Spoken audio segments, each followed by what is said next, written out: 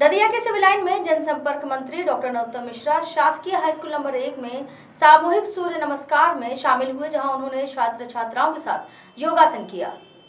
दतिया के civil line स्थित शासकीय हाई स्कूल नंबर एक में हुए सामूहिक सूर्य नमस्कार में जनसंपर्क मंत्री डॉक्टर नरोत्तम मिश्रा शामिल हुए, जहाँ उन्होंने प्रशासनिक अधिकारियों एवं जनप्रतिनिधियों सहित स्कूली छात्र छात्राओं के साथ सामूहिक सूर्य नमस्कार किया।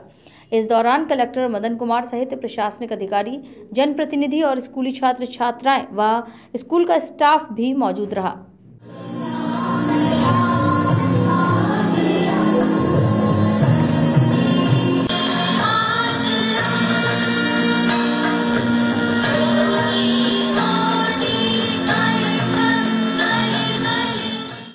न्यूज़ बुंदेलखंड के लिए दतिया से रवि रायकवार की रिपोर्ट।